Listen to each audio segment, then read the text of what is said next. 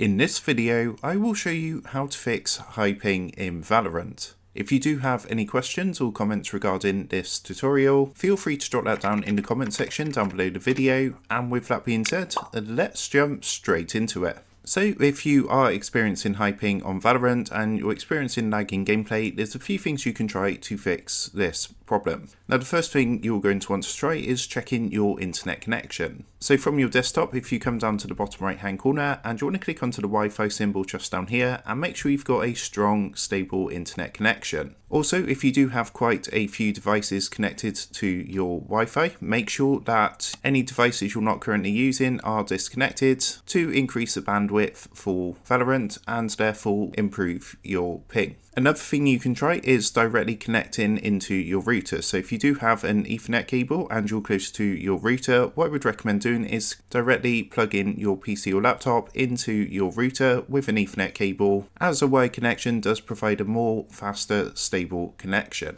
So next what I would recommend doing is closing any applications that might be using a lot of your internet. So for example things like Steam or if you've got any downloads running in the background or any other kind of network heavy applications, what you can do is close them down by coming down to your taskbar, right clicking and opening up your task manager. From here in the processor section you can just simply scroll through and if you see anything for example like Steam which uses a lot of bandwidth then all you would do is click onto the relevant app and then click the end task button to go ahead and end the task. Once you've done that, see if you can play Valorant again and see if that does improve your ping. Also, I would recommend playing on a Valorant server that is close to your location. So if you go into your Valorant settings, you can actually select your server location and just make sure it's set to the one that's closest to you. Because if you try to play on a server that is not close to your location, of course this can affect the ping and you won't have as good a gameplay experience. What I would recommend doing next is checking your network drivers to make sure everything is up to date. Any out of date network drivers can also cause problems with ping. So to check this from your desktop, if you come down to the search box in the bottom left hand corner, and what you want to do is go ahead and type device manager. Underneath best match, just go ahead and open up the device manager app,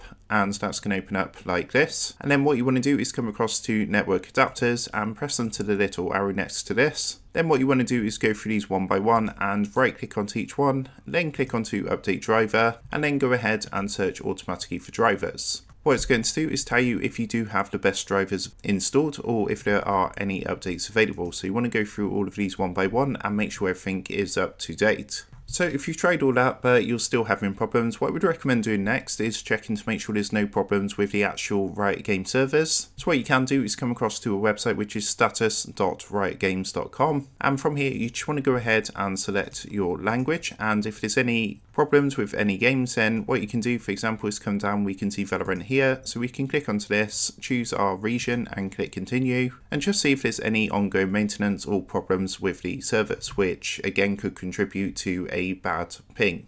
And at this point, if there's no problems, what I would also recommend doing is checking with your internet service provider to make sure there's no problems with them also. So if they've got any work going on or there's any downtime with your internet service provider, again, this is something that's going to affect your ping in Valorant. So that's a few things you can try to fix high ping in Valorant. With that being said, I hope this quick tutorial did help you out today. And if this did help you out, I would really appreciate it if you was to consider dropping down below the video, leaving a like and also subscribing to the channel. With that being said, I just want to take a minute to thank you guys for watching this quick tutorial and I will see you in the next video.